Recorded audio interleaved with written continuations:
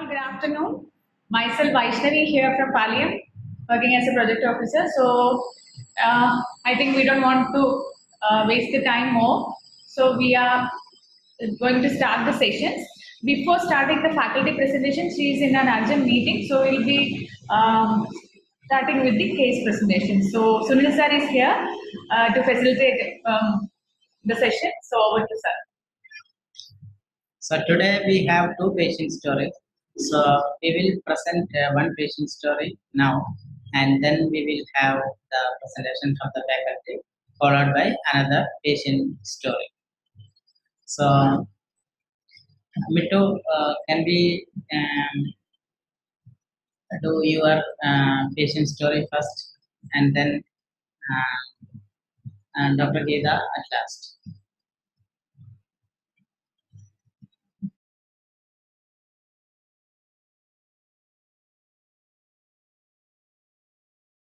Mittu, you are not audible.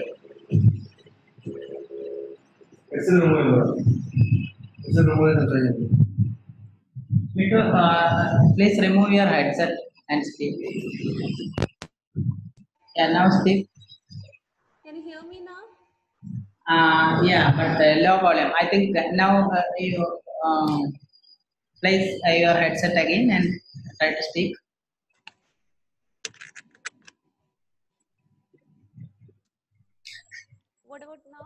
Can you hear me? Uh, please keep it your near to your mouth. Can you hear me now? Yeah, yeah, yeah. Okay. Thank you.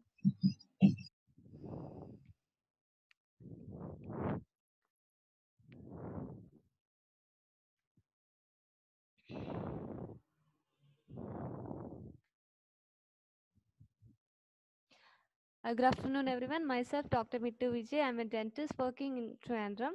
Yeah, okay. Okay, the patient details goes here. Uh, it's a male patient, 59 years old, and the di- clinical diagnosis dementia. So the presenting complaints of the patient's uh, patient was confusion in the evening hours, disorientation, anxiety, loneliness, mood swings, drowsiness, hallucination, jumble speech, and sleep disorder. And the history of illness is uh, the patient has uh, showing these symptoms around five years, but they were ignorant. And he's diabetic since 10, uh, 10 years, but that's under control with medication. He's taking metformin for that, uh, 500 mg BD. On examination, the patient was conscious, pulse uh, normal, and BP is uh, this much, performance status 3, and no, no obvious cranial uh, nerve defects were seen. Uh, sensory functions, lower limbs decreased sensation, uh, power both upper limbs uh, were normal, uh, and then lower limbs uh, grade was 2 out of 5. And treatment and significant investigation include MRI or CT need to be taken, but patient uh, was not willing, not the bystander. He's having a, s- a son. Uh, next slide. Uh, patient was uh, so irritated. Uh, he was not willing for any treatment or medication. Only son is not willing to look after the parents, and the uh, family history was little bit uh, confusing. So wife is no more. That's what, and no relatives there. That's what they said and currently uh, he's taking these medications metformin uh, multivitamin tab rivastigmine and don pencil and uh, galantamine and the main concern is how to improve patient uh, patient's mental and physical condition and how mm, to make his son approachable for his father's treatment uh, so in short, we have a 59 year old male patient with dementia who describes a group of symptoms affecting his memory. And uh, points I would like to discuss is are uh, how to make the patient and by, uh, bystander willing for the treatment because uh, they were not let it go like that. Uh, they were in that mentality, and how can we support the family? And the patient is alone in the house, so he's uh, severely affected by a loneliness. Thank you. Uh, thank you, Mittu. Uh, so here we have a 59 year, um, 59 year old uh, man who is suffering from dementia, and um, he is not uh, willing for uh, any treatment because of his behavioral problems. So, what are we going to? How can we support this uh, patient and family? Anybody uh, has uh, experience in um, treating patients with dementia?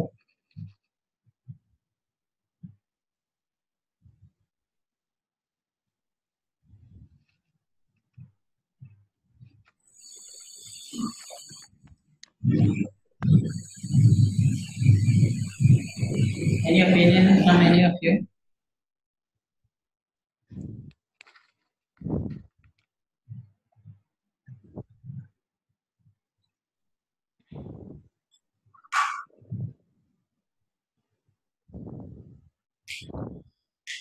If somebody want to speak, please raise your hands.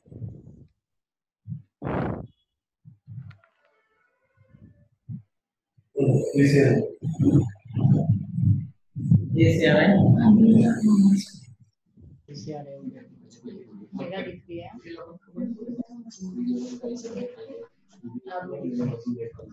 Sarah, do you want to speak? home visit. Actually, home visit can be done. Okay. Can- Home visit. You, somebody can go to the home of the patient and see what the patient uh, needs. Okay. Uh, so, do you think is there any other cause the patient is not willing for any treatment? Home visit. Uh, maybe financial. financial financial constraints Uh, it's uh, they are like it's waste of uh, money anyway it's not curable like that mentality Okay. Uh, Sunitha, are you able to hear us?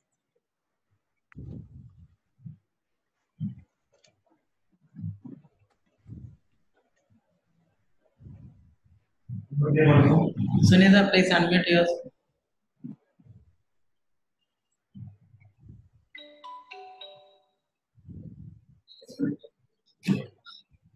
Okay, uh, so um, so this patient is uh, irritated and not willing for any treatment. So, what could be the reasons for his irritation? His illness. His illness. Yeah. Uh, so can we do anything? Uh, you can see the patient is confused, uh, disorientation is there, anxiety, mood swings, hallucinations. So what can we do for that?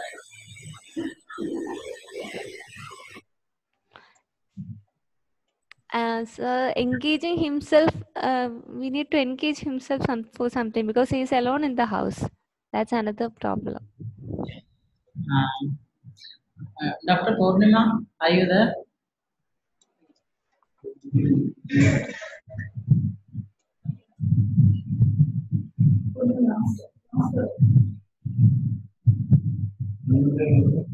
Dr. Purnima, please unmute yourself.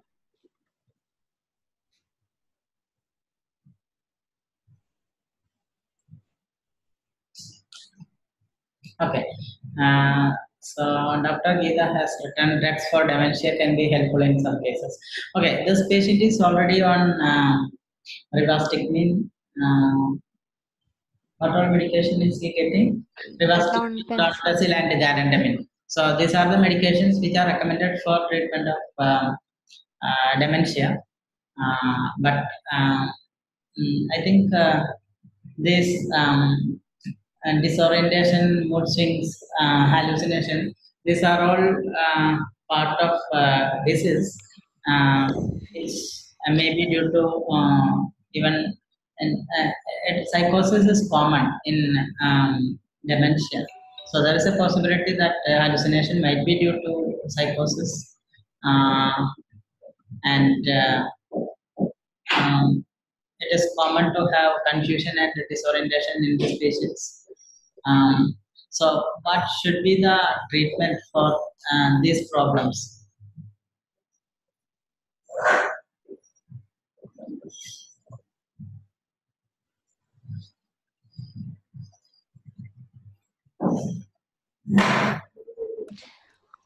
Any brain exercises?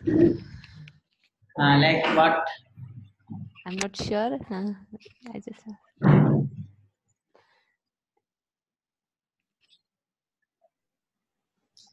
Uh, Krishna, can you um, say whether Purnima is Dr. Purnima? Last.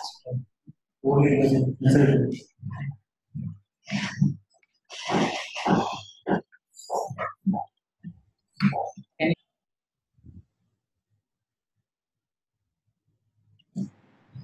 Okay, uh, Dr. Geeta has suggested a common uh, financial support, unawareness, no support, uh, socially illness. Dementia can be of different types to rule out uh, organic pathology. The problem is that this patient is not willing to undergo any treatment or even any investigations. So the question is, uh, what can we do uh, her to make uh, or undergo some investigations and treatment? Dr. Purnima, are you able to hear us?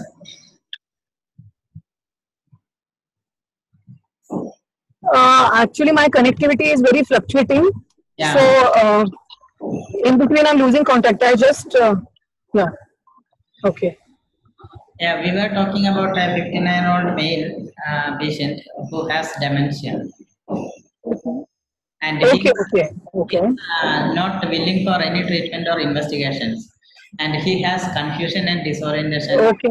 He is drowsy uh, at times. Okay. He has hallucination, mood things.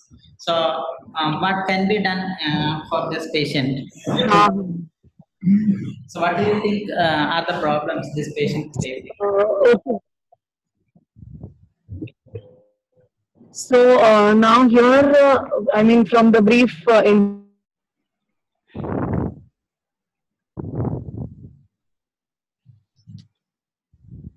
like so uh, becomes very difficult for the caregivers also. So uh, controlling the psychotic features is going to be also one of the targets of the uh, treatment that we will be given and uh, uh, trying to match the patient's uh, sleep cycle to the caregiver's cycle is another practical problem that we face. So sometimes the patient sleeps during daytime and stays awake at night. So that is another point that we need to uh, consider. Uh, for mood swings also if we can do something so basically each and every symptom will have to be addressed and uh, where the caregiver is finding difficulty in managing the patient uh, in a comfortable and dignified manner. Those symptoms we will have to see. So little bit of antipsychotics, little bit of sedatives at night time, and um dietary management, nutritional management will have to be done. Okay. Um, Sunitha, are you able to hear now?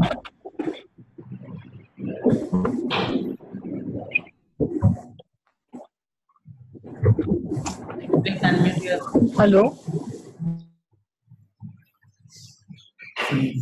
Sunitha. Please unmute yourself.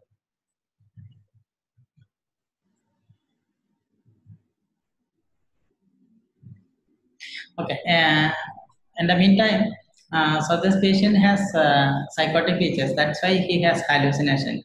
Uh, uh, so uh, whether it is because of hallucination or something else, he is not willing for any treatment. That we have to find out. But for improving the hallucination, we can give small dose of antipsychotics, but um, maybe uh, risperidone might be an option. Uh, you have to titrate the dose. Maybe 0.5 milligram PD or OD is enough. And uh, for uh, sleep uh, disorder, maybe benzodiazepines might be given.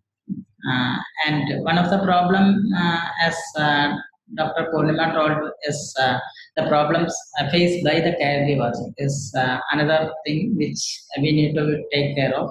Uh, usually, these patients' caregivers suffers more uh, because the patient is not oriented and uh, has behavioral problems. So all these things makes the caregiver more vulnerable to anxiety, depression, in addition to patient's problem. So we need to support the um, patient family also. Uh, but uh, anybody has uh, any uh, suggestions uh, for the first uh, question? How to make the patient and bystander willing for treatment?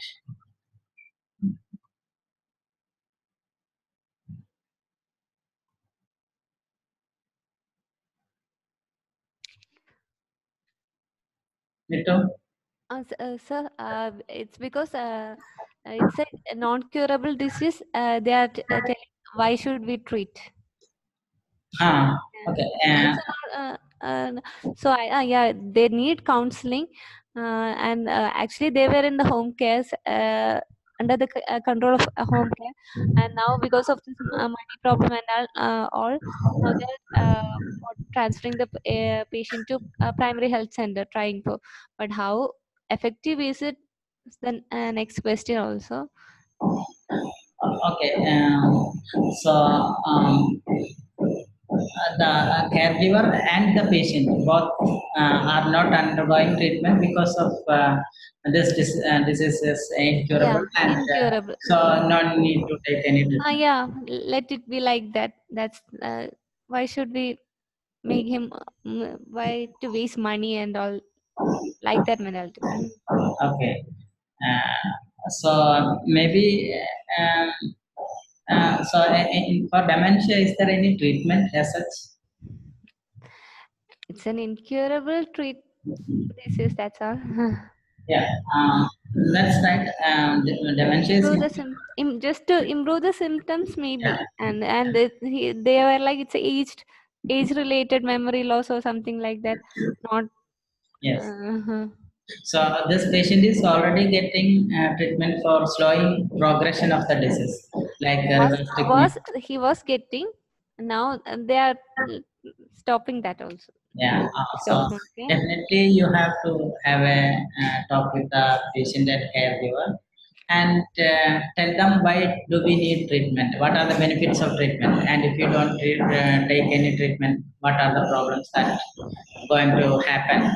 Uh, so those uh, things may help the patient and caregiver to undergo treatment.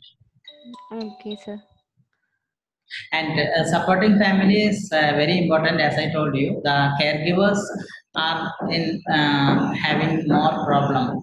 yeah Uh, they get irritated like uh, his sleep cycle is disturbed. Usually he's usually awake at, night. Mm, and uh, so they're like irritated. Let it, they don't want to continue that. And he's uh, i think he's feeling uh, loneliness because he's nobody is around to look after him properly. So even uh, sleep wake cycle, some non-pharmacological management is usually advised in dementia. So uh, the light arrangements, uh, maybe from the natural source or from a light, uh, so that uh, daytime should be well lighted and at night it should be dark, uh, so that uh, uh, the rhythm is uh, re-established. Uh, that's uh, the one of the non-pharmacological treatment uh, which is recommended for uh, sleep improvement and sleep hygiene also. So loneliness is another problem which again the caregiver and uh, the patient faces. And uh, as Dr. Geeta told, uh, home care and the involvement of volunteers if possible. The community involvement, uh, if possible, would be good uh, for uh, changing the loneliness. So the volunteers who are actively involved in seeing the patients can go and sit with the patient and caregiver, so that it can improve the loneliness to an extent. thank you sir Sunitha?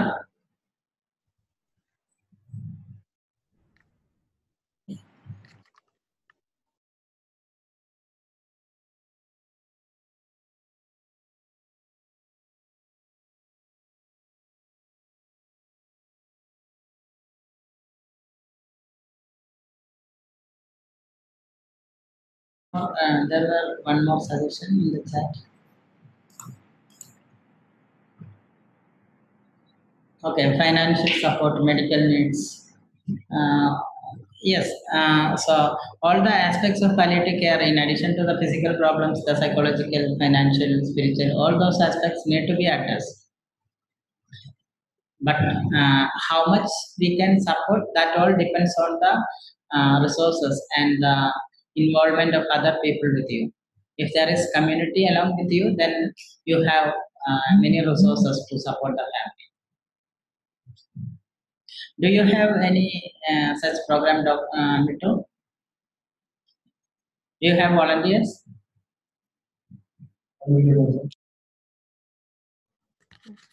Uh, volunteers, uh, we don't have like that. uh, Okay, uh, maybe some college students just go and make them happy. That's all at their free time. Okay. Um, Dr. Purnima, do you want to add anything else if you are there? I want to point out that whenever we are talking about uh, dementia, uh, it is not just a single patient, the whole family becomes the patient. Yeah. So, uh, and the uh, family or the caregivers, uh, they need to be uh, looked at, uh, though their file is not made as a patient, uh, we have to keep on addressing their symptoms also. And they, they do have symptoms of anxiety, depression, loneliness and everything. And uh, another point, like we are assuming that all the caregivers are good caregivers. So sometimes we see the other extremity, extreme of uh, caregiving also, where the patient is neglected by the family. So these factors, as um, healthcare providers, as doctors, we need to uh, be aware that the caregiver could be of uh, both types a very uh, concerned and empathetic caregiver and a very negligent and even cruel caregivers who are pretending in front of us to be very nice to the patient and everything. So, and, and then there's this whole situation about the will and um, medical legal aspects are there and the patient's cognition is not there. So, this dementia as an issue is a very complex issue and uh, a lot of um, social studies need to be done about this. Okay. Yeah, Thank you. thank you. Uh, Sunitha, uh, can we move on to the presentation? Uh, it's, it's, I'll just uh, get ready. I'm just finding a spot. Can you hear me? Yeah, yeah. Uh, now we can hear you. Okay. Uh, can you switch on her video? Uh, Sunitha, don't you have video? Yeah, I- I'm using my mobile. Okay. Um, so Yeah. just keeping it Uh, off. let me introduce you first. Uh, Okay. So, Dr. Sunitha Daniel will be handling today's uh, session. Uh, she's, uh, she has done her MRCP in palliative medicine from UK and uh, she has been working in UK as well as uh, in India. Right now she is working as a part-time consultant in palliative medicine at General Hospital, Ernakulam. And she has been helping us with uh, uh, many sessions. And I welcome uh, Dr. Sunitha, and uh, she was uh, busy with uh, some meetings, but uh, hopefully I think it's over now. I'm really sorry, Chief. I couldn't join earlier on. It was an interesting session. Uh, hopefully, the data connection will hold on and we'll start. Okay. Okay, welcome all. Um, I'm audible, right? Yes, you are audible. Okay. So um, today we'll be um, briefly dealing with this uh, important topic, palliative care non-cancer condition. Um, it is a vast topic, so I'm not expecting to cover the whole, uh, all the conditions in detail. We'll be mentioning about the needs of palliative care and non-cancer condition, and um, and then uh, you know just briefly mention about the different different scenarios. Next slide, please. So the objective of the session is to understand why patients with non-malignant disease would benefit from palliative care and also to understand how to identify such patients. Next slide, please. Uh, just before we move on, we'll have a brief um, case where there's an 81-year-old uh, retired teacher who lives with his wife called Susan. Uh, his dementia was diagnosed five years ago and he's now deteriorating. He's now dependent for all aspects of care. He's incontinent of urine and feces and has difficulty communicating. He is only able to walk two to three steps. Next slide, please. Um, in his history, we can see that in the last one year, he's been seen by a physician, neurologist, and cardiologist. He's had three admissions to hospitals in the last 12 months uh, for pneumonia. Uh, the last admission lasted about four weeks. And after each episode, he did not recover back to the point he was at before. So he didn't, he didn't come back to his baseline normal. He was deteriorating after each episode. Um, and uh, unfortunately, in the last admission, he died on a ventilator. Uh, again, the point to notice is he was not seen by a palliative care physician. So, uh, you know, unfortunately, he died on a ventilator. Next slide, please. You must all be uh, familiar with this definition, our 2002 WHO definition of palliative care, uh, which uh, says it's an approach that improves the quality of life. Uh, and um, again, we mentioned things like life-threatening illness, um, and the aim is to prevent and relief of suffering by means of early identification and um, impeccable assessment and treatment of pain, uh, problems, physical, psychosocial, and spiritual problems. Uh, this was the age-old definition that we've all been using. Next slide, please. Uh, recently, IAHPC has uh, put forward a new, uh, new definition. Uh, it has not been approved by all the organizations, but this has been made as a suggestion, and I'm sure this must have been mentioned during the introduction. So we are right now dealing with um, serious health-related suffering due to any cause. So it can be due to any severe illness, and palliative care is the active, holistic care of individuals across all the ages with serious health-related suffering. And uh, our aim is still to improve the quality of life uh, of the patients, the families, and the caregivers. Next slide, please. So they also give us a list of topics uh, which comes under serious health-related suffering. Uh, and, and as you can see, there is malignant neoplasm of cancers, but then there's a whole lot of uh, non-cancerous conditions which we are expected to provide care for, including um, CNS uh, conditions, um, HIV disease, disease of the liver, um, lung diseases, tuberculosis. Um, and uh, if you go through the list in detail, we understand that probably this deals with more of the uh, low and middle income countries. Next slide, please.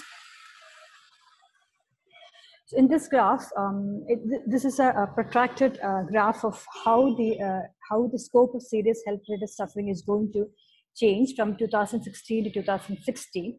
So what they say is uh, in the in the graph, the, the color, the countries which are dark green color and uh, lighter green uh, are the countries with low income and uh, low middle income countries, where what we expect is that the serious health-related suffering is going to increase by 155 times percent percent increase in the uh, health-related suffering conditions.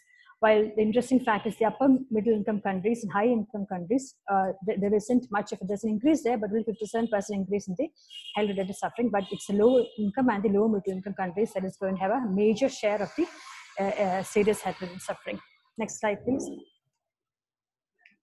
Uh, again, uh, uh, relating to the serious uh, health suffering, what are the conditions uh, and how much is going to increase? So at the top of the list, we still got cancers, uh, where you can see the number of death in million with this condition um, is going to increase by 2060 is a red dot. the number is going to increase and there's a vast difference from 2016 to 2016 to, to, to 2060 there's a major difference in the, the number of people who's dying with the cancer or the number of people dying with the cva lung disease and dementia whereas the other other cases lower down the list the number of people who are dying with the condition remains the same. So there is going to be an increase in the other conditions and people are going to die more with the uh, you know the conditions like cancers and lung disease dementia and liver diseases. Uh, next slide please. Uh, this uh, slide shows the uh, distribution of the major cause of death worldwide. Uh, so in 1990s, um, it used to be, uh, you know, there was a lot of, lot more number of communicable diseases, maternal and nutrition deficiencies, which the, that's a red bit has come down uh, as uh, age progressed to 2017. And you can see that the, the major blue bit that's non-communicable disease, uh, the ratio has increased. And when we come to 2017, the numbers have gone up. Injuries, the, the yellow bit more or less remains the same. Next slide, please. And uh, no, previous slide. Uh, previous slide, please. So this is a, a graph of the same condition, but in India, again, uh, we had more of a, uh, you know, infectious diseases. The red bit was a bit higher than the worldwide average, but ours also the uh, NCDs are going up now. Next slide, please. Uh, so the disease burden in our country, if you if you if you divide it, we've got a whole lot of uh, cancer burden. Along with that, the non-cancer conditions, the cardiovascular disease, uh, respiratory disease, and diabetes is coming up. Uh, and uh, it, it is actually uh, on top of that we still because the lifestyle is changing so you can see it's because one healthy eating um, excess alcohol physical inactivity and tobacco use. But on top of that we are still uh, tackling the uh, occasional communicable disease outbreaks that comes every monsoon at least in kerala and some other parts of the state. So we still have haven't tackled our communicable disease burden yet and we've still got the ncds burden coming up. Next slide please so according to the, uh, the index of the uh, health of nation states in India, the in India state level disease burden initiative uh, has found that about 40 to 75% of uh, non-communicable disease was present in the country in 2017. And uh, the important thing to notice is that states which were uh, thought to be highly developed like Kerala, Goa and Tamil Nadu has got predominant and serious non-communicable disease as compared to the other states like Bihar, Jharkhand, Uttar Pradesh and Rajasthan. So the, our NCD count is going up. Um, next slide, please. So uh, our aim in this session is to find out why is palliative care needed. So we know that our NCD non-cancer conditions are increasing. So why, why is palliative care needed uh, and how can we provide it? Next slide, please.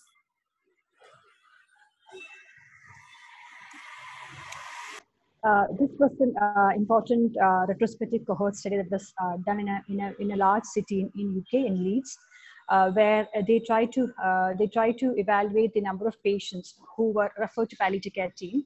Uh, so basically, to two hospices and one hospital, and they try to find out um, how late or how early they were they were referred out. So they found they, they did a study for a period of two years, analyze the data. Next slide, please.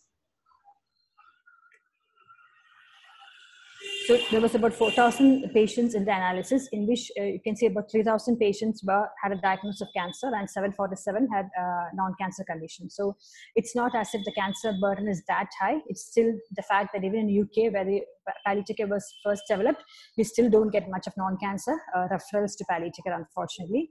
Uh, the, uh, the median duration of palliative care for the whole study population was 34 days. So basically, any patient who got um, uh, the first referral to palliative care was 34 days before death. And in, in cancer it was 37 days and in non-cancer it was six, the median duration was only 16 days. So it is a very very sad situation even in uk as far as uh, you know the referral to palliative care is concerned.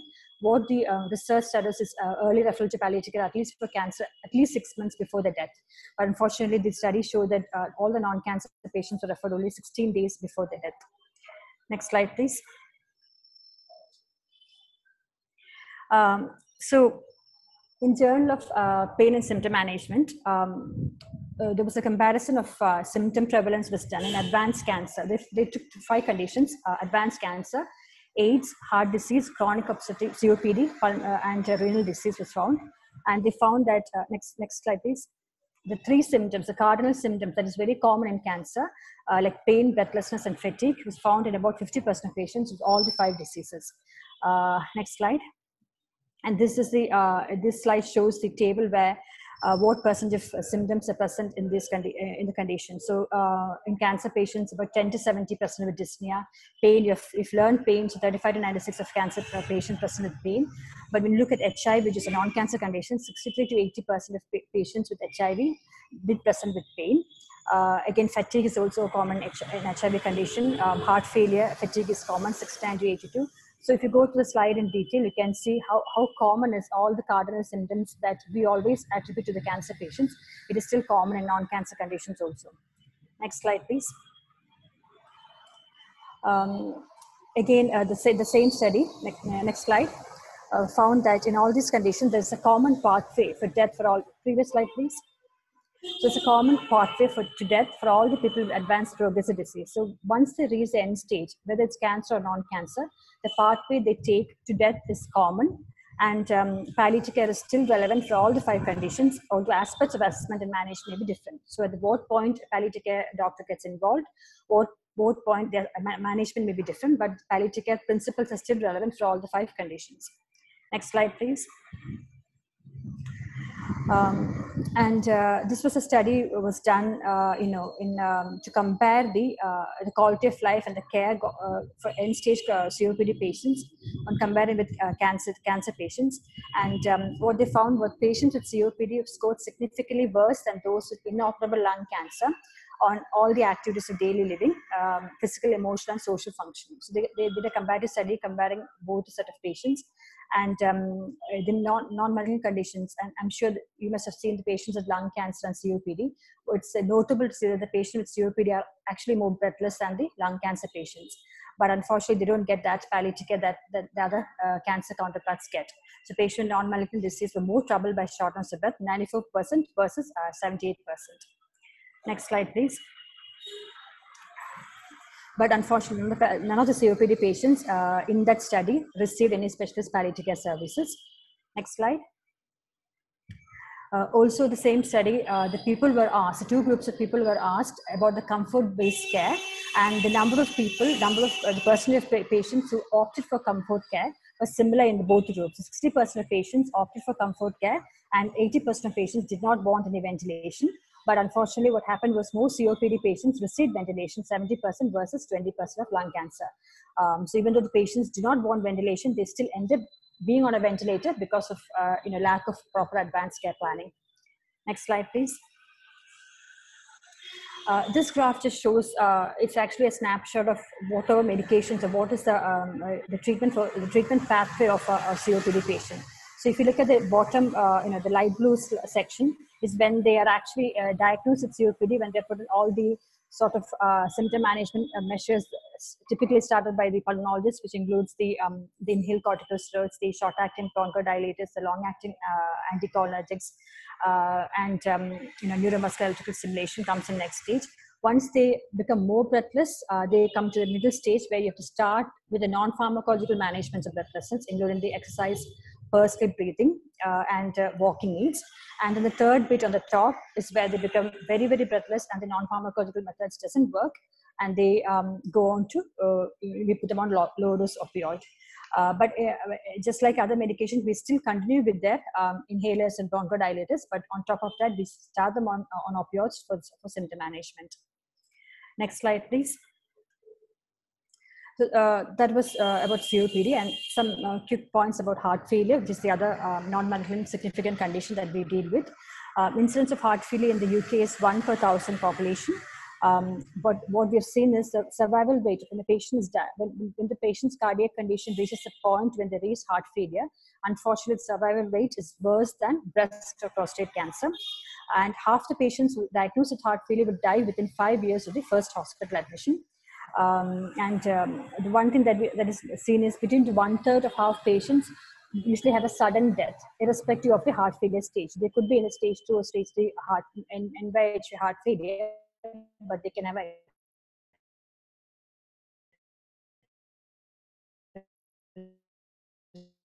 so all the more you. it's important for them to preferences. Next slide. Wait, uh, can you hear me now? Yeah, yeah, now. Yeah, Hello? Yes. Okay. I you now. Do I need to say that again or are you okay with me? Yeah, I think uh, you can move on. Okay, so uh, this table shows uh, the, uh, the classification of heart failure patients. Um, we have all heard of the uh, NYHA classification. Um, this also um, uh, classifies into stage A to stage C according to the American um, Heart Association classification. So stage A, according to the American Heart Association classification, has got presence of heart failure risk factors, but no heart disease or symptoms, which doesn't come into any of the NI, NYHA class 1. Then stage B of ACHA is an NYHA class 1, where there's, there's no limitation of physical activity. That means heart disease is present, but there's no symptom. When they come to class 2, the slight limitation of physical activity, which is stage 3 of AHA, when the stru- structural heart disease is present and symptoms have occurred. Then we move, uh, move on to class 3, where there's marked limitation, and class 4 is unable to carry out any physical activity without discomfort. Um, and uh, which means the presence of advanced heart disease with continued heart failure symptoms. The reason we have to know this is uh, prognostic purposes, as well as know that when to refer for the palliative care team to get involved. Next slide, please. This slide gives uh, all the medications that um, you know, the, the cardiologist prescribes and which is useful and evidence-based in different stages of heart failure. So uh, if you've got NYHA uh, class 1, there is no role for diuretics, but there is a role for uh, ACE inhibitor and beta blocker, and no, no role for the aldactone um, or digoxin. And both ACE inhibitors and beta blockers actually will decrease the hospital admissions if you look at the end of the uh, table, as well as improve the functional status and improve the survival. There's evidence base for that. Similarly, at different stages of um, you know heart, heart failure, the different medications are added on depending on the condition. When they come to class two, we start with the diuretics and they continue till class four. Next slide, please. Next, we move on to end-stage kidney diseases, and uh, what we have seen that is uh, patients who benefit from palliative care for end-stage kidney disease are those who choose or are advised not to start on dialysis. Um, that means uh, when the patient uh, reaches a point when they are when they are in stage, uh, you know, when the EGFR comes less than 10, uh, the option of dialysis are discussed with them. And there are a sort of patients um, or a certain cohort of patients who wouldn't choose for, to go for dialysis, and they go in a conservative um, route, which is um, again, it's uh, it's only possible if there's an efficient palliative care uh, system to support them, and those patients would benefit from palliative care. The other group is those who are failing to thrive on dialysis, who experience worsening of quality of life and increasing symptom burden despite the dialysis. And uh, the third group is the patients who willfully uh, want to discontinue dialysis. So obviously, when you stop the dialysis, there'll be lots of the symptom burden will come back, and they would want um, effective palliative care. Next slide, please. Uh, usually, what we have seen is uh, the end-stage kidney disease patients uh, have an extremely poor quality of life, and they always need frequent uh, hospitalizations and um, and a prognosis are comparable that of the common malignancies, so that they have good uh, uh, com- prognosis that's comparable to common malignancies, but uh, obviously they, they don't have uh, adequate palliative care. Next slide. The common symptoms uh, that normally come are uh, dyspnea, confusion, pain, anxiety. This was mentioned in the in the first slide, where you know all, all the common symptoms that come for uh, cancer do come for end-stage kidney disease also in the last few days of life. Next slide. This was another study again done in the UK, where uh, they did a comparison of the survival analysis of uh, and the palliative care involvement in patients um, aged over 70 years, uh, choosing either conservative management or renal replacement therapy or dialysis. So this was also a retrospective study, but they had a um, how they did the study was they had a combined clinic in, in the in the renal unit, where those patients who opted for not to go for dialysis uh, would come to uh, to a palliative care physician and would get all the supportive uh, treatment that is uh, given for a, uh dialysis patient except the dialysis, but they'd also get additional uh, support in the in the community palliative care team. And um, next slide, please. Uh, so when they analyzed the data retrospectively, what they found found was uh, when you compare the survival, hospital admissions, and palliative care access of patients um, age over 70 years. So they only took the patients who were age over 70 years with CKD stage five, and they they compared as I dialysis with conservative management. So what they found was uh, patients who were mm, more than 80 years of age uh, with a poor performance status or high comorbidity scores, uh, they didn't have any so the, uh, they didn't have any survival advantage when they took dialysis route as compared over conservative management. Uh, so basically, they, they didn't they, the, the patient who went for conservative management survived better than those who went for dialysis route if they were over over 80 and had poor performance status. Uh, and the advantage of having conservative management pathway was that they had greater access to palliative care services and were less likely to be admitted to hospital or die in hospital. So uh, the important thing know that um, uh, none of the patients who went to dialysis route actually died at home. They all ended up dying in the hospital. Whereas uh, about 40 50% of patients who went in the uh, conservative they managed to die at home. So that was a significant landmark study that um, happened in UK. Next slide, please. Okay, moving on. Another non-cancer condition, AIDS or HIV. Uh, as we all know, when AIDS was first uh, discovered, it was an epidemic. Um, HIV infection was uh, like a death sentence. Uh, and palliative care usually came only during end of life. But uh, now the spectrum of AIDS was changing since the HAART came, the hi- uh, highly active antiretroviral therapy came, and the patients who got a diagnosis of HIV infection or AIDS can have a near normal life Can you hear me? Sorry, there was a call. So in this slide, uh, you can see the uh, trajectories of illness over time. So this is the disease trajectory of chronic illnesses. Um, and uh, the, the one in the bold on top is the, uh, the, the common slide that we show for all the cancer patients. the pre-HAART AIDS was similar to the cancer patients uh, who went on, um, you know, and then had a, a significant deterioration and had acute death. But the, the, the patients who are on HAART treatment are compared to the chronic chronic illness trajectory or congestive heart failure or other other chronic illness trajectory where they go on have some uh, deterioration condition but come back to baseline ha- have got a gradually deteriorating uh, clinical functions and then gradually prolonging death. So it's, it's typically similar to the pro- chronic progressive illness. Next slide, please. Uh, this slides, uh, I'm sure you'll be able to see it more clearly when you get the presentations. Basically, says um, you know how how how, palliative care is useful for the uh, HIV or AIDS patients. Uh, so um, we've got this um, needs of chronic chronic care management for the patients, uh, which is central to palliative care in the middle. And um, these patients can have non-AIDS specific comorbidities uh, like cardiovascular conditions, pulmonary, renal, or hepatic conditions can be there. So you have to manage that. These patients can have drug toxicities, uh, which is renal, hepatic, metabolic, hematologic and interactions. So that, that needs to be managed. They can also have psychosocial issues like substance use, uh, mental health problems, social isolation. They can have environmental stressors, uh, including poverty, unstable housing, um, unsafe environment. Uh, uh, it, it can be an aging population because uh, it's a chronic illness, so age-related morbidity, polypharmacy, end of life, and uh, on top of the HIV infection, having a chronic immune dysfunction and inflammation can cause a persistent uh, host vulnerability. So all those are the um, you know, you know the, uh, the the situations where palliative care has a role. Next slide, please. Okay, moving on. Uh, I, am sorry I missed the presentation. The dementia. That was, I think that was an interesting presentation. So, what all symptoms do you see in advancing dementia? We've got confusion. Uh, our patient had that urinary incontinence, uh, pain, low mood, constipation, loss of appetite. Again, all the symptoms that we are familiar with in managing in our palli- palliative care scenario. Next slide, please. Uh, we've all, uh, you know, I think we all know about the diagnosis of dementia, the mini mental state examination to uh, classify it and to have a formal diagnosis. But there are there are few um, global measures um, for staging the function functional aspect of dementia the clinical uh, dementia rating scale and functional assessment stage uh, and global deterioration scale. So I've just mentioned one scale that is um, called the FAST or the functional assessment scale, where the patients are given a score stage from one to seven, depending on what all they are able to do and what all they can't do. So uh, if suppose a patient needs an assistance with dressing to, to the weather occasion, uh, is given a stage of five. Uh, his suppose his speech is limited to less than six words per day. He's given a stage of 7A.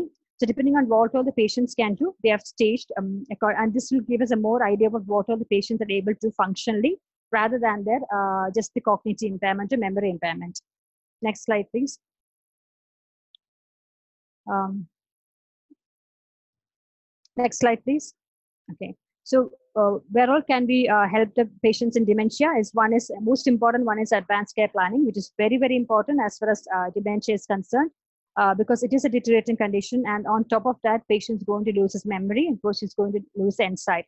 So it's very important for us to know what they want in, in a situation of the future, like uh, things like NG2 feeding, things like ventilation, everything. Uh, you know, we should make a, we should make an effort to do an advanced care planning for that.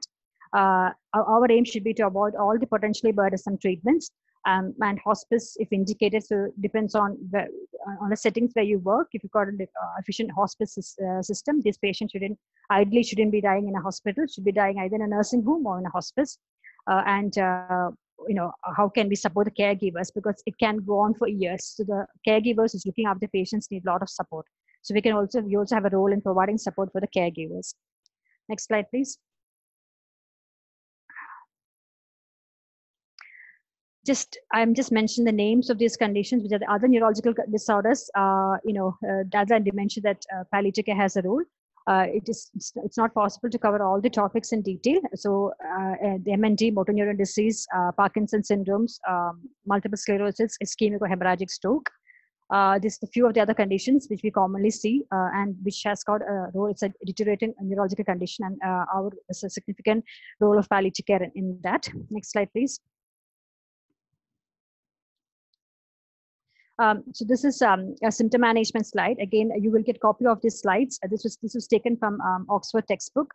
Um, so uh, you know the, the medications that is mentioned there, we might not have it in, in India, but you know it's just these are the evidence-based medication for which, can try for different uh, specific symptoms so constipation dyspnea anxiety all these are the symptoms that we normally manage in other patients is just nothing different they have suggested things like methylphenidate for fatigue um, you know ssri for fatigue for muscle cramps quinine is uh, for elderly patients is quite useful 200 milligram daily pain again um, similar to what we normally use uh, but you know you can go with tapentadol or tramadol I, uh, try try and avoid strong opioids. You can use um, you know the um, tricyclics and SSRIs. Uh, pseudobulbar affect, they've mentioned something like quinidine for that. Uh, again, I'm not sure whether we use it commonly here. Next slide, please. So uh, because you'll get copies of the slides, I'm just quickly going through them, uh, just covering them by points. Hypersalivation, you can try uh, amitriptyline. Uh, then psychosis, uh, quetiapine is useful, clozapine uh, clonazepam for sleep disorders, respiratory failures. Again, uh, you know, for MND, you go for tracheostomy. Again, again, it's all depending on the patient. You have to select the uh, correct patient for that. Rigidity or uh, bradykinesia, go for the anti-Parkinson's medications. Next slide, please. Um, uh, Doctor, your voice is breaking. capacity uh, and uh, can you hear me now? Yes, ma'am. Yes. So can you repeat that once again, ma'am? Okay, so uh, the previous slide, this one. Yeah, so so that's for insomnia, uh, then spasticity. So insomnia, you can use zopiclone and amitriptyline. Um, spasticity uh, and um, you know for secretions are also mentioned. So all these, uh, you know, it's, it's just for a reference um, in case you you have to manage symptoms in uh, uh, in, these neurological conditions. Next slide, please. Another topic again that was given um, to cover important one is frailty in old age. Is the you know ge- geriatric patients there are lots of conditions uh, including dementia. You uh, become for uh, geriatric medicine sub- separate specialty. Only thing that I've mentioned today is about frailty in old age.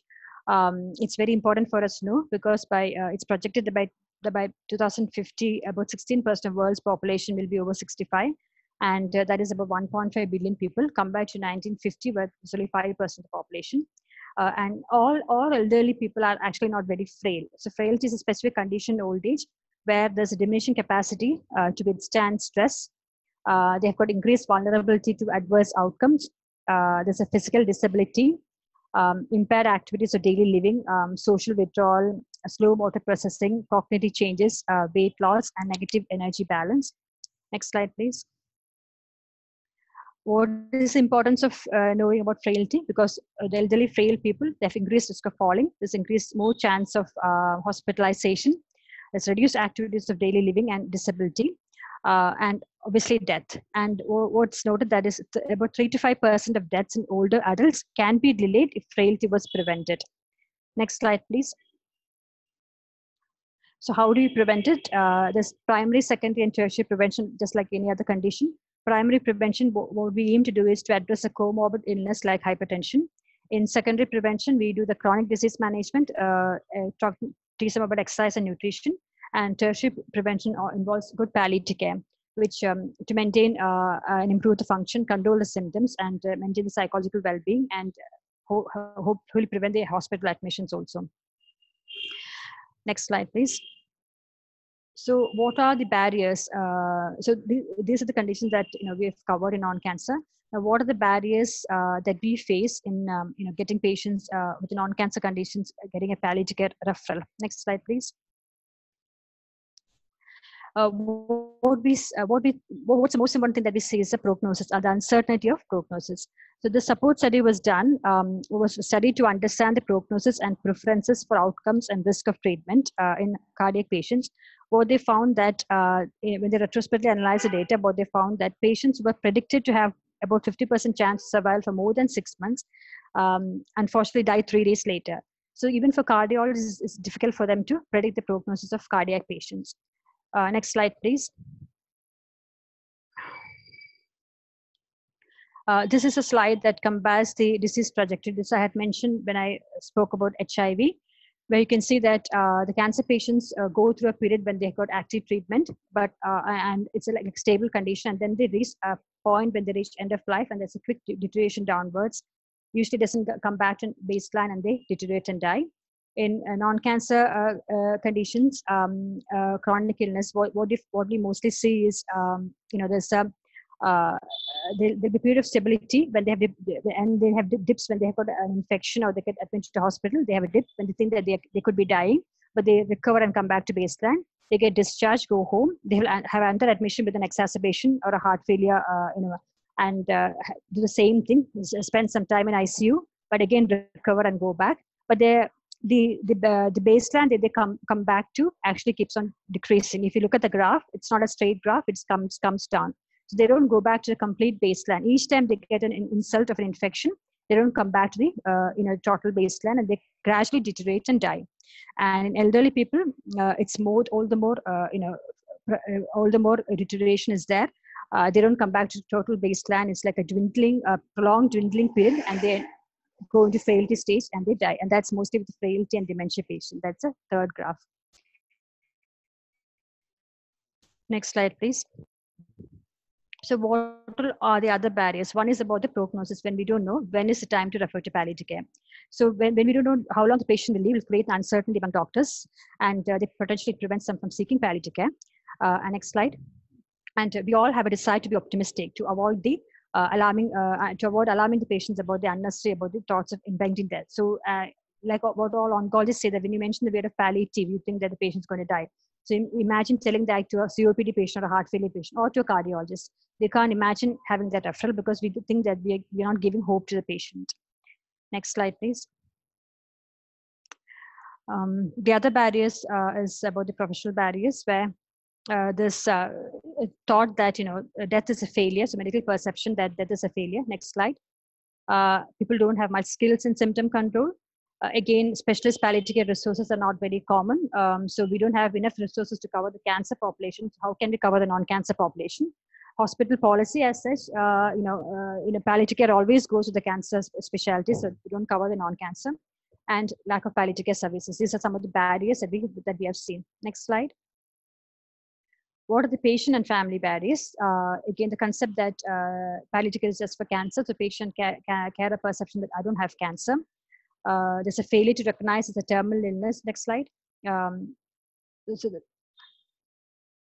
so there's poor preparation by the patients. There's a failure to recognize it's terminal illness, poor preparation, and uh, the caregivers unprepared to decide the transition. So they, they they they they are just holding on to the hope. They can still not say that patient is going from a life sustaining condition to aggressive comfort care which is sometimes uh, difficult for the family to accept uh, because uh, to, to them they have been going on with the copd for years so as far as they are concerned nothing has changed.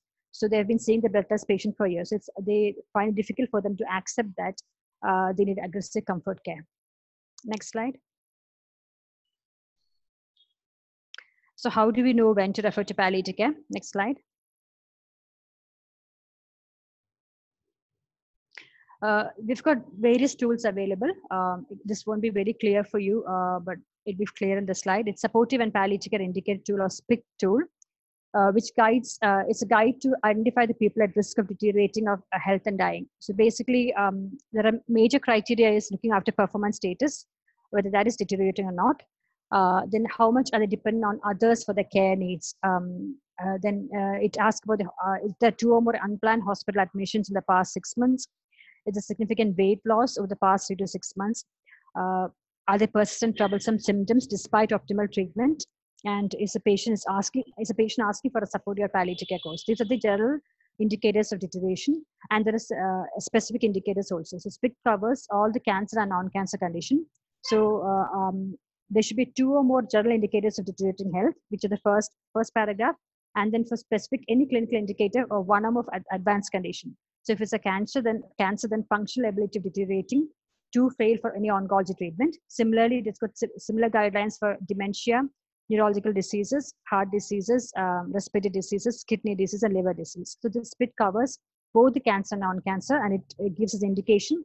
And this can be used as a useful tool if you want to start um, a palliative care service uh, along with a, a respiratory service you can actually ask the uh, patients who come to respiratory service, they can be, um, you know, assessed using the SPICT, SPICT tool and see if they, they fulfill the criteria to come for a palliative care referral. Next slide, please.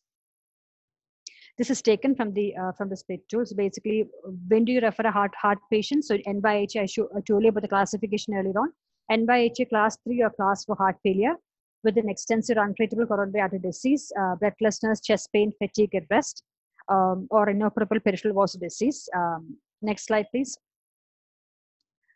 Uh, liver disease, I, I, haven't mentioned liver in my talk, but uh, the criteria for referral to palliative care is advanced cirrhosis uh, with again diuretic ascites having recurrent drainage, hepatic encephalopathy, hepatorenal syndrome, SBP, or recurrent varicose bleeds.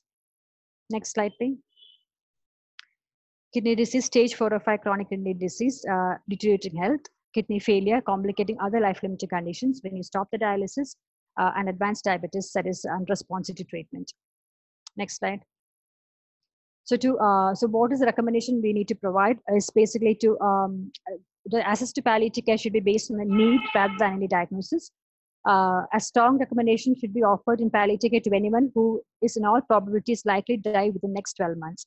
So we use something called a surprise question. So when you see a patient, um, you have to ask yourself this question, would I be surprised if this patient died in the next 12 months? So if I'm not surprised, the patient died in the next 12 months, then that patient uh, needs a palliative referral. So that is something that's like a trigger question uh, to other specialties to, to refer to palliative care. Next slide, please. So to conclude, uh, palliative care is needed for all the patients with serious health-related suffering, which includes both cancer and non-cancer conditions. And uh, there is a need for further research into the developing further needs assessment tools uh, for specific conditions, uh, and also the benefits of the early palliative care involvement. Thank you. Thank you, Dr. Sunitha, for um, highlighting the importance of uh, uh, non-cancer diseases requiring palliative care. and um, uh, now the criteria as per uh, new definition in the Lancet Commission, palliative care should be given to any patients with serious health-related suffering. Uh, so that is uh, something which has uh, come up new recently. Any serious health-related suffering requires palliative care. Uh, and um, uh, there are uh, many criteria also which says when the patient need to be referred to palliative care and the SPICT tool is one of the useful thing which we can use for referring the patients to palliative care and uh, it's open to discussion now.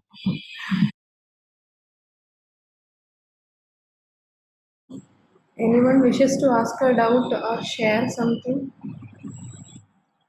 Just raise your hands if you have.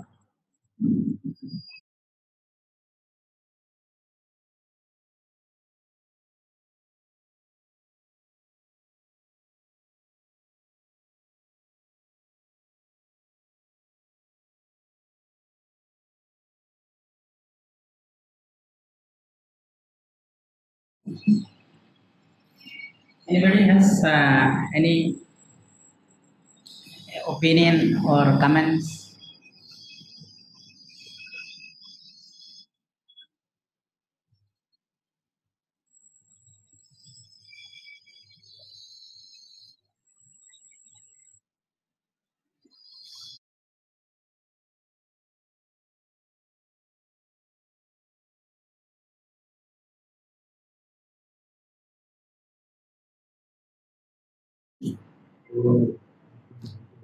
Okay, uh, if there are no comments uh, or opinions, um, I would like to add something uh, which uh, the WHO says uh, the most common disease which require palliative care is cardiovascular problems. But uh, if you take the statistics of any palliative care institutions in India, most of the palliative care patients will be having cancer. but um, in our statistics, we have about 45 uh, percentage of cancer patients and 55 percentage of non-cancer patients. Uh, uh, so there are many barriers uh, why uh, palliative care is not given to non-cancer patients. uh, which uh, Dr. Sunitha has already pointed out.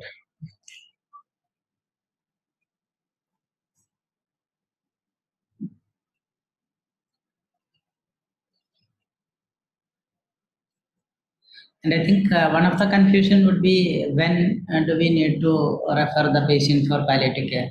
So the uh, pro- uh, the surprise question would be a helpful thing which we can ask ourselves. Um, uh, so that if the patient is going to die within the next one year, then probably the patient would benefit from the palliative care, and that's the time which we need the patient to refer to palliative care.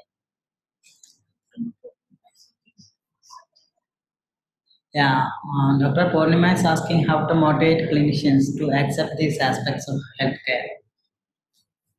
So that's something which is uh, difficult, but uh, uh, we think uh, over time it is happening uh, by sensitizing more professionals.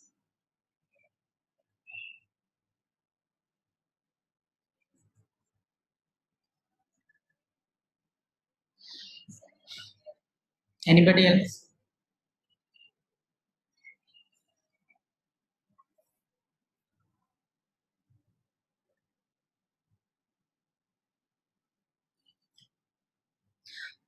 So we think uh, pain is uh, uh, one of the common symptoms in patients with cancer.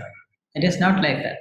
So the study which uh, has uh, showed, and there are many more studies which uh, says um, pain, breathlessness, and fatigue are the common symptoms uh, the non-cancer patients also share.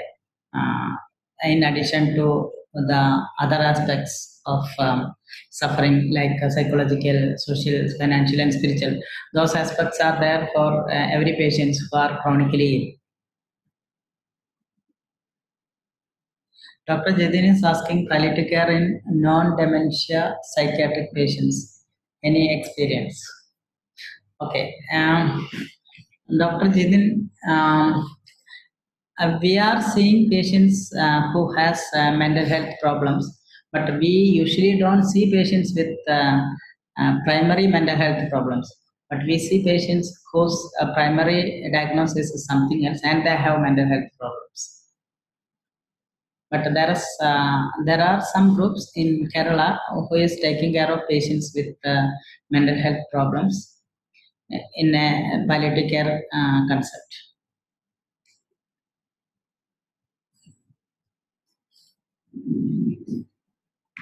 So we have patients uh, who has um, um, many uh, mental health problems, not the primary uh, diagnosis. Most of them are having either bedridden or having malignancy or some other problems.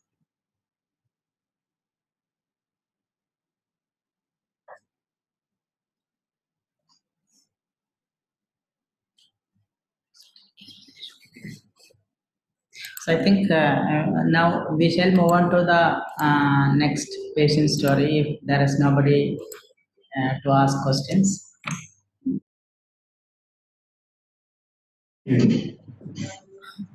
Dr. Geeta? So Dr. Geeta from Uh, hello, can you hear me? yeah, we Can you can hear hear me? you, but your voice is breaking. We are Can you hear me? Yes, yes. Okay. Yes, doctor, you can start. Hello. You can start. Okay. Uh, I am uh, okay. I am working in the department of pediatrics, and uh, we mainly see non-cancer patients. As you have, uh, the earlier speaker has said, uh, mainly the neurologic diseases, neuroregressions, birth malformations, or congenital malformations, then chronic kidney disease. Uh, very rarely we see cardiac failures. So they are the patients. So in this uh, topic, I was asked to present a, pain scenario. So I have selected a patient which I am. Uh, I have seen this uh, child few years. Uh, uh, I have seen this child earlier, and this was a boy. He was brought to our casualty on a Sunday with a history of seizures, which was prolonged. That means the mother doesn't even know how many hours the child was seizing. And that child was a, uh, developmentally delayed child, as I've written, a global development uh, delayed child. The child was bedridden. Uh, it was a child who baby had the child had a, a spastic quadriplegia. The child was bedridden and uh, microcephaly, mental retardation, seizure disorders, and we were surprised. Actually, uh, it is actually uh, the only child whom I have seen a, such a mutilated child. Uh, that is, a child was biting on the uh, exposed areas. That is, uh, arms and uh, fingers, and uh, it was literally like multiple ulcers on the areas where, and also the cheeks, the lips, and all. I have only, I have, that is the only child which I have seen and uh, the child had severe anemia, Hb around 2.5, severely malnourished child. Just looking, we could even carry like just a one or two year old uh, baby. And uh, I present this uh, baby because the child that uh, child was always crying. That means it was uh, the child was admitted in ICU because of the serious conditions. Because we cannot, we all knew it was a patient whom we did not uh, want to uh, uh, prolong that uh, life. But uh, in our uh, scenario, we all know that we cannot keep such a sick child in our uh, ward. So we put the child in ICU and we called the parents. And you know, the mother was uh, uh, really a marginalized uh, family. I think there were no supported people, and they were brought by some now. Previous few years, there are lots of community awareness, and so many of the groups, some uh, boys in that area who are social, not acclaimed social workers, but they know that there are children like that because nobody sees that child and uh, they were from a very po- poor family. Mother doesn't work, we know, and they have one or two children like that only. Uh, they are also some form of mental uh, retardation in that family. So that was a child, and it was very. Um, uh, uh, I mean, I remember this child because you know the child was always. We see a lot of children with uh, such children, but this mutilated uh, things and all. And then you know we asked why it was said. So they were telling uh, that mother uh, very difficult to get the history also she says uh, the child always cries and we assume that it was due to pain the child was crying. Even the mother doesn't know. She was also little i think um, uh, little psychiatric also. We do not know whether it was uh, be- be- before it was like that or the lack of support and looking after all these children made her like that. And uh, the child was biting on this uh, hands fingers to the extent that they used to bite off flesh we actually thought uh, earlier we used to think in a condition called this Lesch-Nyhan syndrome, but uh, we could not make a diagnosis of anything. Okay, so I'll tell regarding the history. This was the youngest of three children. The other children being normal according to the mother, but uh, we asked the history, and they were actually not normal. Uh, they were not actually uh, going to school as per their age, and they go to the school only because there was some food or something provided by the school authorities and this was a apparently they did not have uh, books or cards to support it. 2.5 kg normal birth weight apparently normal antenatal period. Development he did not attain any milestone at the appropriate age. They have never shown to any uh, doctor or the healthcare worker has never visited uh, their uh, place. That is what they were telling. Uh, very difficult to believe there was no social smile, no head control, did not roll over, had roving eye movements.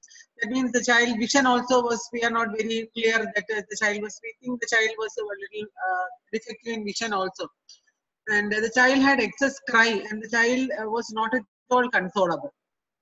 And he had a history of seizures, that is abnormal movements, that is the mother was telling. Since two years, they had multiple hospital admissions, not in our hospitals. That means this child was not properly evaluated. For all they were from some area like Thenmala, which is around uh, 50 or 60 kilometers and high ranges. Uh, and then, uh, so we asked about the history, and they were telling the baby, although the baby was born in a local uh, government hospital, there was difficulty to breastfeed from the start. And the child was having difficulty to swallow. And then the child was having, because the child had difficulty to swallow, their uh, complementary feeding and all were not adequate. And they were on diluted uh, this honey water or uh, form this uh, cow's milk, whichever was available according to the mother. And the weight was 12 kg. I told, told you know, just looking like a 2 kilo. No any record of previous hospital admissions. Next. Uh, on examination, bedridden, no eye contact, intermittent crying. And there were many new and old wounds on the fingers, wrists, wherever he could bite. The mother said crying episodes will occur and the child will bite and mutilate the fingers. The child was wasted and only a skin and bone appearance. Next. Uh, the child had severe pallor. The Hb was around 2.3 or 2 to 3. The CNS, the tone was increased in all four limbs. DTR was exaggerated. There was microcephaly. Cardiovascular system, there was a flow murmur apparently due to anemia in the pulmonary area. After admission, we knew that uh, this was a bedridden child and we tried to provide the most comfort care for that child. We provided a Ryle's tube because the child was dehydrated also at that time. And uh, really, uh, this child was a severe case of protein energy malnutrition, severe acute malnutrition. But because considering the outcome, we provided him a milk-based high energy feeds. And then wound care and for seizures, fosphenytoin and lorazepam and phenobarbital were given. Three drugs had to be given. One packed cell transfusion was given for anemia. And for pneumonia, we the child was having uh, unconscious. No, the child uh, we did not ventilate the child. We put them on a NIV. That is a high flow oxygen on an NIV. And uh, the child uh, had a status, and that uh, he, he had to be on multiple uh, drugs, uh, IV drugs in the ICU. There were a lot of crying episodes, and then only we thought that probably that it was due to pain. And then we had uh, initially initiated with morphine, and the crying episode was uh, slightly reduced, but he was not controllable also, and he was sleeping better for initial period around uh, two days. His oxygen requirement was reduced, and then he was. Uh, uh, that means uh, in the ICU he was always you know, failing, and then after that we could observe his behavior that you know he was little quietened. Next. Mother is uh, from a very deprived background, single, and knows only to write her name. Till recently, they were uh, living in a roadside bus shelter. But after this child's uh, plight came uh, into that community, uh, she has been taken by a private orphanage there. And actually, they had brought this uh, child and mother here. Next. So the main concerns are uh, the child, this uh, child medical is a seizure, status epilepticus, multiple contractures due to his spasticity, multiple wounds he has self-inflicted, and uh, his excess crying and poor management has resulted in many complications for this child. Severe malnutrition, severe anemia, poor socioeconomic status, and it's a month, uh, single mother, mentally unstable, and uh, doesn't know the severity of his illness. They are really po- poor and do, do not have a home of their own. So in summary, this is a 13-year-old uh, bedridden boy with spastic quadriplegia, microcephaly, mental retardation, seizure disorder, with mutilating behavior uh, over the, with wounds, self-inflicted wounds, and severe anemia, severe protein energy malnutrition, with uh, poor socioeconomic status, and actually nobody to care for this baby. So the discussion points uh, will be actually I did not have an idea about what to discuss. Rajalakshmi had actually helped me with this. And uh, how does one access assess the pain in a developmentally delayed child? And what are the other causes for crying in children other than pain? And then how can we assess the? It's actually assess assess the response to treatment in pain. We had put on morphine, and then you know it was not very easy for us to find whether it, we were going in the correct direction. Uh, earlier we used to sedate these children, but I, we now know that uh, that sedation is not useful. It will again hinder with the patient's uh, activities, whatever they are doing. And what are the other supportive care to be given uh, further, again, if such children come to us? Thank you, uh, Dr. Geeta, for Thank the you. uh, patient story. and um, um, it is very difficult to assess the pain, but uh, we shall discuss how to assess pain in patients who are not uh, who are unable to communicate. Uh, so, uh, anybody uh, who want to talk about the pain assessment in non-communicable patients? non-communicative patients. Yeah.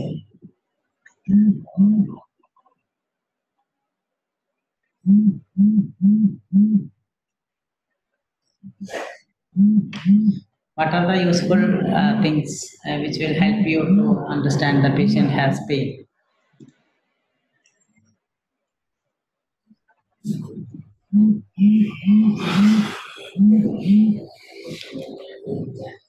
Anybody?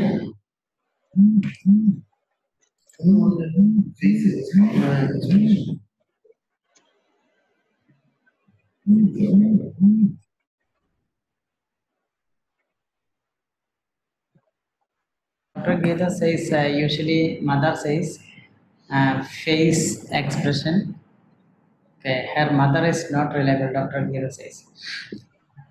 Okay, Dr. Geeta, uh, do you usually assess pain in this type of children? We have got children like this, uh, but I've never seen a child like this mutilated, uh, self-mutilating uh, behavior in children previously. Okay, uh, We've so. got lot of chronically children. Hmm. Uh, I think uh, we can discuss uh, the pain assessment and uh, response uh, uh, together.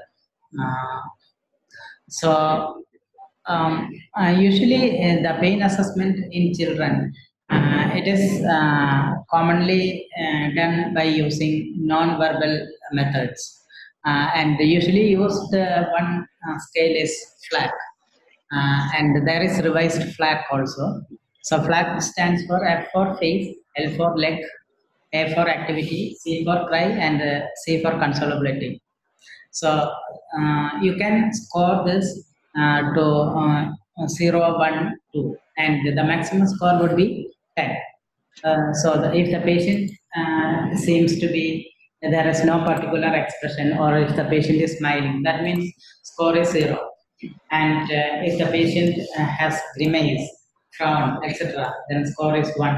So, uh, uh, likewise, leg also, if the uh, leg is in normal position and normal tone, then the score is zero. So, uh, these are the uh, non-verbal things used to assess the severity of pain in uh, non-communicative children. Uh, and there are other scales which are also used, but it is uh, the nurses literature says um, FLACC is revised FLACC is uh, better to use and easy to use.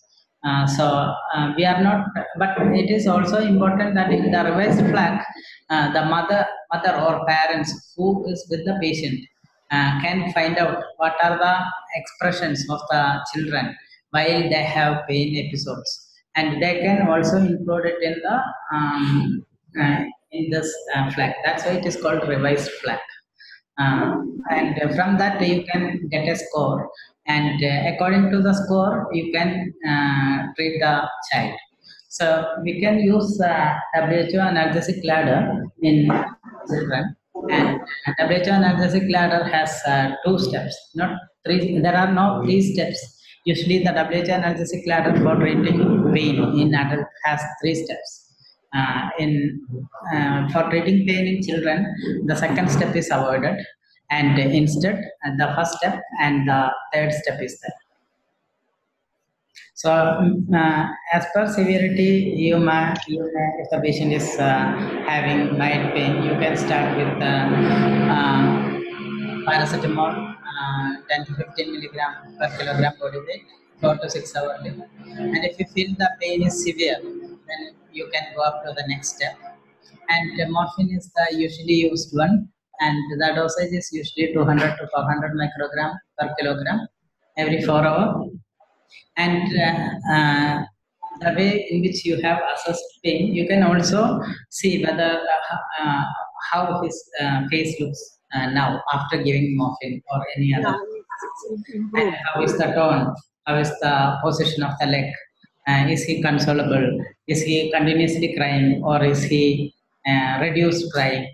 So all those are used to assess as well as to um, find out the response of the treatment to the pain.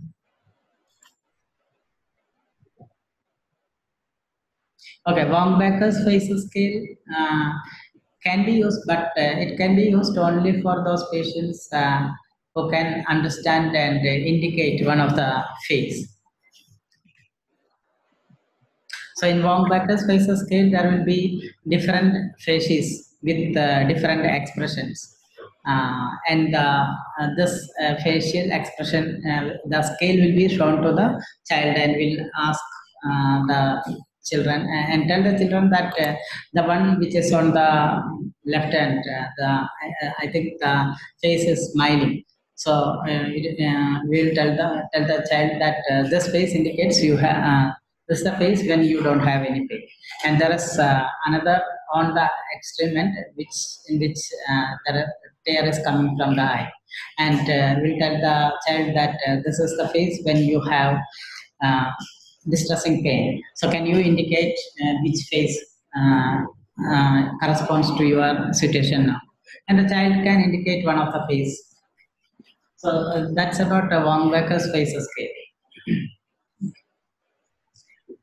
So, uh, Dr. Geeta, I think uh, you will be the better person to tell us uh, what are the causes of uh, crying other than pain in children. Ah, okay, the usual causes of crying uh, in such developmentally delayed children, uh, sometimes you know they just they say behavior, they continuously bail. That is probably for uh, mother, maybe uh, maybe knowing that mother's uh, touch when mother want they want the help like feeding or uh, some needs. Maybe if the, they want to change the diaper and all although they cannot communicate uh, sometimes uh, mothers tell mothers are very intelligent. So some people will say we ask why he's crying now simply. Then they will say that oh now probably he is hungry or he has got some pain because they will just rub the chest like that or legs like that and then the child's crying will decrease. So usually mothers will um, it may or may not be correct. Some muscle pain something uh, for other children uh, when they are able to communicate these children may not communicate but um, the, the mother's behavior that is like either uh, uh, patting or covering the head or swaddling something will produce some change. So that is what we have seen. Then constipation uh, can produce abdominal pain and it can produce. And sometimes uh, uh, uh, the, uh, increased hunger uh, that can actually may be there. Sometimes you know there may be vomiting for these children. And then uh, this uh, acidity uh, they that, GER they like reflux and they all can precipitate chest pain like they, they these are some, some of the things which can produce then muscle spasms then sometimes raised tension can occur like progressive condition like hydrocephalus or something neuro, neuro, the neuropathic pains can occur. So there are a lot of causes, but uh, sometimes you know we um, only if many signs and symptoms occur, we will be able to make a diagnosis. But uh, mothers are very intelligent and they say that this is their practice. So usually at this time, the child usually becomes hungry. The child wants a bath. It's like that, you know. The mothers tell. Oh, it's uh, mothers are really amazing.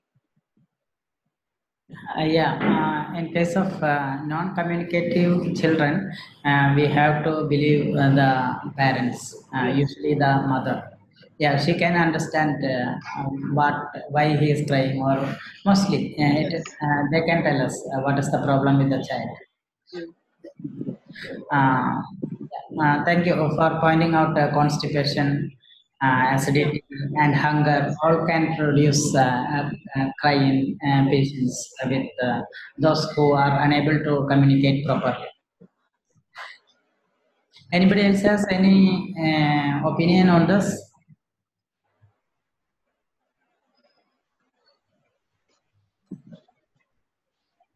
Right. Okay, uh, if there are no questions, uh, the next question is uh, what are the support? Uh, Dr. Jidin, are you there? Yeah, I'm there. Dr. Jidin, Dr. Jidin. Can you hear? No, no, uh, no, uh, Dr. Geeta, I was asking whether Dr. Jidin is there. Okay. Uh, okay, uh, so what are the supportive care in given in such children? So what can be uh, done uh, for this uh, type of uh, children? So uh, what do you usually do, Dr. Geeta, for this? That's what that's what we had done. That means the child was brought by some people in their localities, and then you know it was the, baby was actually severe acute malnutrition. See, uh, 13 years and 12 kilo only, you know. So really, skin and bones. We know that. So we provided a comfort care. We put him in a clean bed. His um, uh, an IV line actually was put. And uh, after that, actually, Hariprasad had shown us that it was not need to put an IV, even subcutaneous fluid therapy could be given. So after that period, we had now started with the subcutaneous therapy and all. So we this for this patient we initially put uh, because we had to look for the glucose. There was a little hypoglycemia, and then uh, the child had ongoing seizures. So the child anyway needed an IV.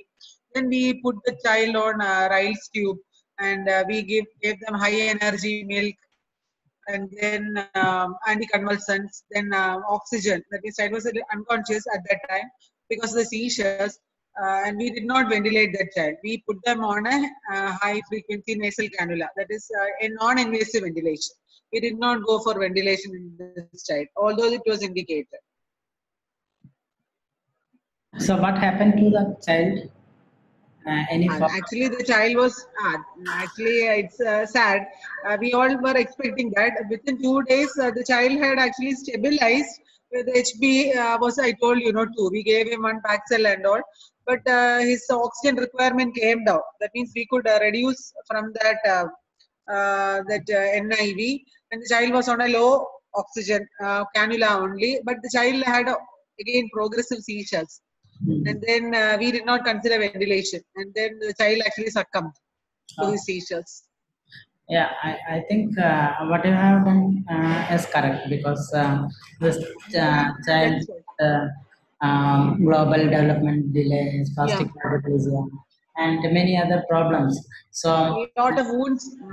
yeah, uh, so uh, maybe uh, he's not in a salvageable situation. no and, no not at all. Yeah, and uh, the artificial methods by which uh, we can prolong the death, not the life, as was not suitable at that. Uh, yeah we made him comfortable So uh, I think uh, one of the other thing, in addition to the physical, psychological, social, financial, spiritual support, I think um, what we have to plan is uh, we have to talk with the uh, parents and uh, come to um, a decision whether uh, how to proceed the treatment of these patients. So we should make an advanced care plan for uh, this type of patients uh, whose disease is progressive so that uh, uh, at the time of an, an emergency, we need not rush the patient to ICU or uh, we need not uh, make them undergo any aggressive interventions which are futile. So that's one thing which I would like to add for patients uh, who has any chronic diseases which are progressing. For that, we have to uh, talk to the uh, parents and uh, we need uh, good rapport with the patient's parents.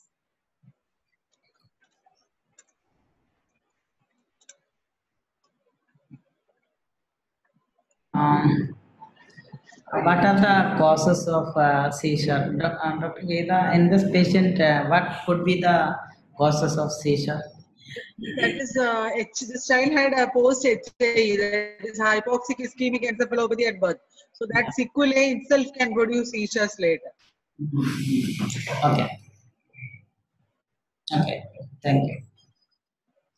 Uh, so uh, we can uh, actually assess the pain as well as response to the treatment by looking at the scores of uh, uh, FLACC uh, scale. And also it is important to involve the mother or whoever is the closest uh, member of the family with the child so that they can understand the pain behaviors of the child. Uh, and um, uh, as uh, Dr. Geeta has already explained, there could be other causes like constipation, retention, or even incontinence, uh, and uh, the child is wet. That uh, even can cause um, irritation for the child, and the patient, child may cry. Um, And supportive treatments, in addition to the physical, uh, psychological, social, or spiritual suffering, we also uh, have to come up with an advanced care, for, care plan for uh, this type of uh, children. Anybody else uh, want to make any uh, comments?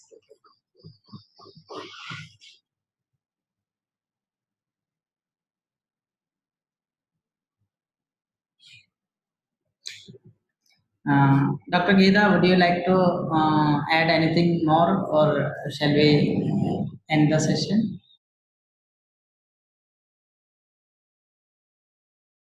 No, nothing, nothing. Okay.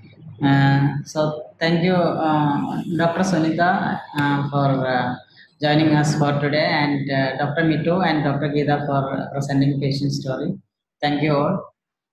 Uh, so we will not be having uh, a class next Thursday. So we can see you on 19th of September with the topic on gastrointestinal symptoms taken by Dr. Sunitha. So we have shared the feedback link.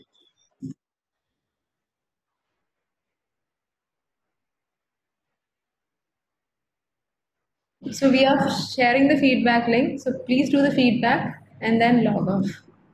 Thank you all for joining on in. See you on next coming Thursday. You.